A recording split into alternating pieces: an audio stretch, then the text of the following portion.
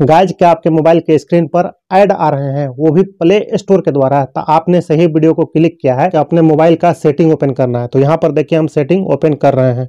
उसके बाद देखिए, आपको आना है यहाँ पर गूगल में। तो इसी में देखिए, गूगल में आपको क्लिक कर देना है। उसके बाद देखिए, आपका अकाउंट आ जाएगा। उसके बाद देखिए आपका यहाँ पर जीमेल आईडी ऊपर में दिख जाएगा। मैनेज योर गूगल अकाउंट उसमें आपको क्लिक कर देना है। उसके बाद यहाँ पर देखिए डाटा एंड प्रिवेसी है। उसी में आपको क्लिक कर देना है। उसके बाद देखिएगा, हम नीचे यहाँ पर स्क्रॉल करें तो उसके बाद देखिए, यहाँ पर नीचे मिल गया है माई एड सेंटर इसमें आपको क्लिक कर देना है। उसके बाद देखिएगा, यहाँ पर पर्सनलाइजेशन एड्स उसी को ऑन यहाँ पर है। उसी को आपको ऑफ़ करना है।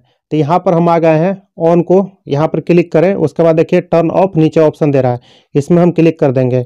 यहाँ पर देखिए गोट इट यहाँ पर देखिए ये आपका ऑफ़ हो गया।